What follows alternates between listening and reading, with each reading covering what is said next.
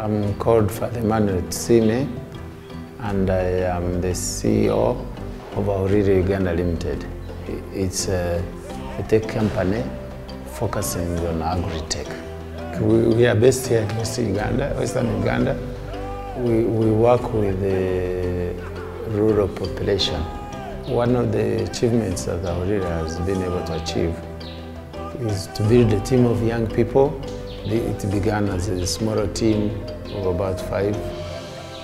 We have that long-term vision of uh, expanding in Uganda and even in other geographies like East Africa.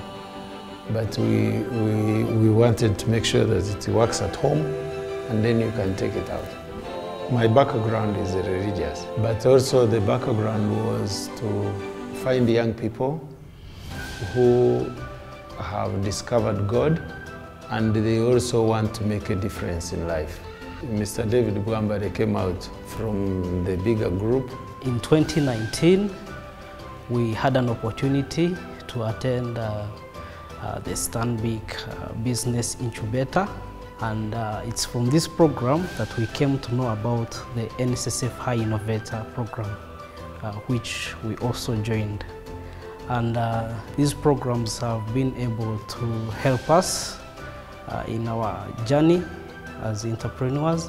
Uh, we were able to develop our own products.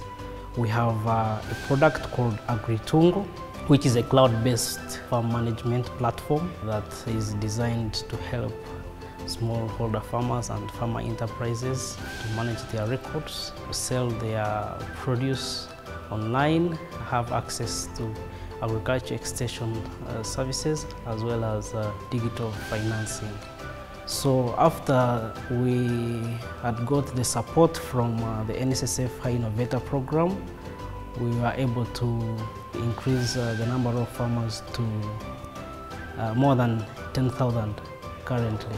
We also moved from 103 groups to around 260. And then also we, also moved from 4,000 to more than 10,000 now, different smallholder farmers. Before AgriTungo, we used to make calls and because of bad network, we didn't access them or some people don't have phones and we had to go all the way to find them in the deep areas.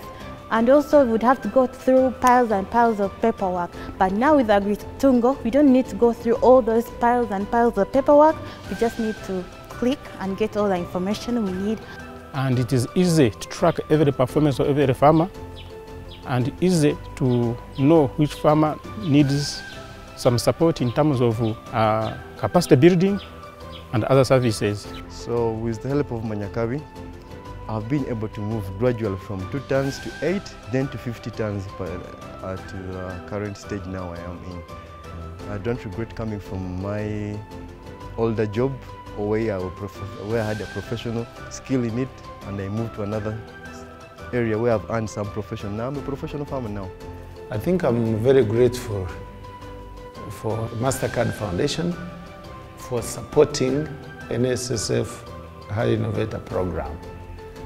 And also it was very good for NSSF Hi-Innovator program to look for different hubs that incubate different startups and groups so that they can be able to grow. We only discovered these uh, incubator programs very late, six years into business without any incubation. And I think we made a lot of mistakes. How I wish in, in our first year we got into such a program. I think we will be flying now. My advice for young people is that don't give up. Have your idea,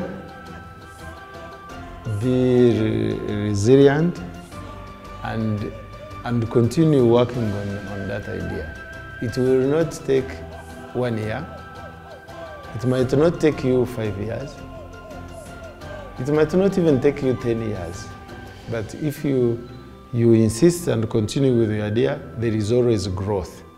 With the support from NSSF High Innovator Program, Aurire is transforming Uganda.